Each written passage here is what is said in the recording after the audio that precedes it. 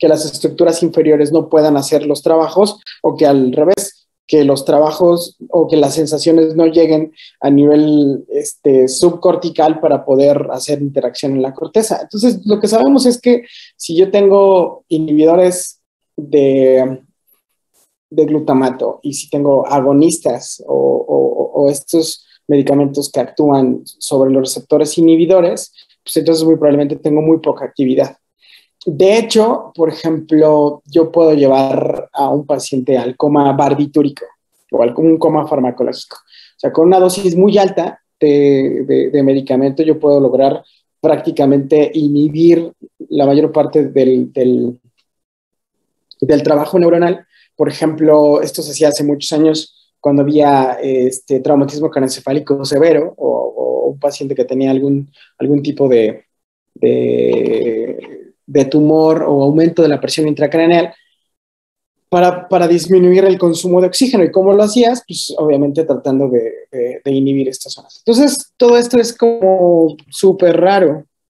Fíjense, Mayra dice, Doc, tengo una vez me operaron y tengo un recuerdo. No sé si de verdad pasó o no.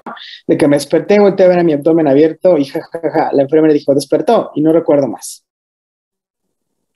Fíjate que esto es, o sea, no no es poco probable, pero muy probablemente no estabas dormida como tal en, una anestesia general con todos estos medicamentos que logran analgesia, amnesia, hipnosis, sino que muy probablemente a lo mejor no sé de qué te operaron, pero a lo mejor solamente tenías una sedación y esa sedación significa alguno de estos medicamentos a una dosis muy baja y finalmente si no está administrado de forma continua, tú en, el momento que metabolizas ese medicamento, pues te despiertas. Pero a lo mejor ese momento lo, es como una ensoñación, como un, momento, un, recuerdo muy vago de algo que sucedió. Entonces, realmente para poder yo decirte que qué te sucedió, pues tendríamos que como que analizar todo.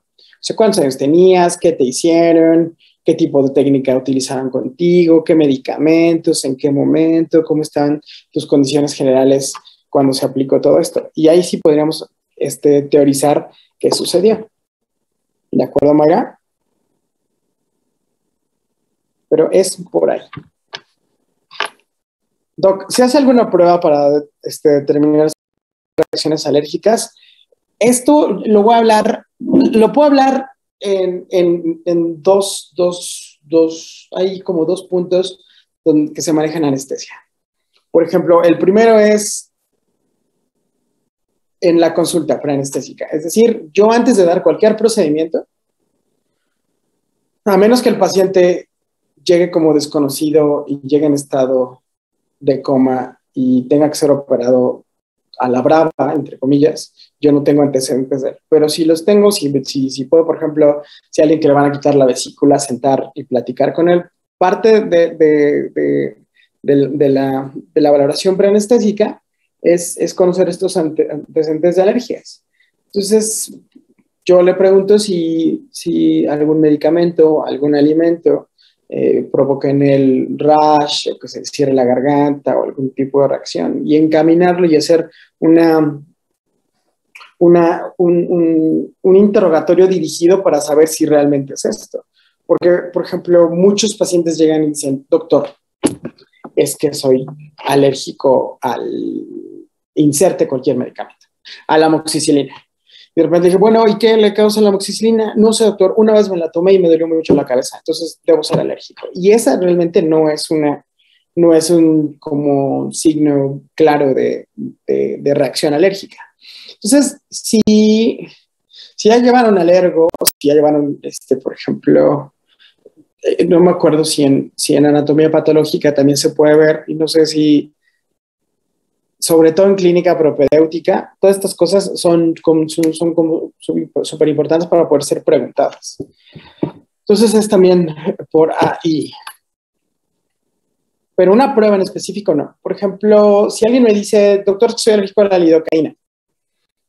Las pruebas cutáneas, como dice la doctora Uscanga, puede ser eh, una forma de investigar. Por ejemplo, yo, la literatura reporta una incidencia bajísima de reacción alérgica a los anestésicos locales, es decir, que es muy pocas las personas, ¿sí? no recuerdan este porque es en el punto cero, punto cero cuatro por ciento, una cosa así, menos el, el número de, de personas que, que, que, que, son alérgicas a los anestésicos locales. Entonces, si ella me dice, soy alérgico a la lidocaína, yo en el quirófano, con ayuno, y he preguntado, lo que hago es poner un, un botón subcutáneo de, de, lidocaína y ver si hace algún tipo de reacción. Si hace algún tipo de reacción, entonces suspendemos esto y se cambia la, la técnica. Por ejemplo, alergia al látex también, esa es mucho más común.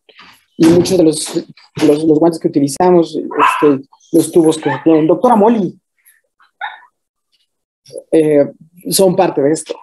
Entonces, pues sí, de cierta forma también las pruebas que se pueden hacer ahí. Pero si yo detecto esto, que un paciente que es como que tiene este, alguna topia así importante, pues lo mando a alergología antes de ser sometido a un procedimiento electivo. Por eso lo vamos a ver una vez que revisemos valoración preanestésica. ¿De acuerdo? Mm, Doc, a mí me operaron y los doctores dijeron que me puse a cantar, ya que el cirujano puso sus rolitas para el ambiente y yo no recuerdo nada. Fue anestesia regional de la cintura para abajo. Sí, te digo, muy, muchas veces eh, eh, las técnicas regionales se acompañan con sedación y depende de lo que te hayan puesto, ¿sí? O sea, no es lo mismo que te hayan dado una sedación con ketamida, midazolam o, o a lo mejor midazolam, este dexmedetomidina o dexmedetomidina fentanil o, o, algún, alguna combinación de fármacos que te haya sucedido esto. Y ya vieron que finalmente la memoria es un proceso mucho más complejo, que es lo que estábamos discutiendo ayer. Si yo no lo paso de lo sensorial a lo de trabajo, a lo de, este, ¿cómo se llama? Largo plazo, pues entonces, este, permítanme un segundo, desconéctalo. Es, es por ahí.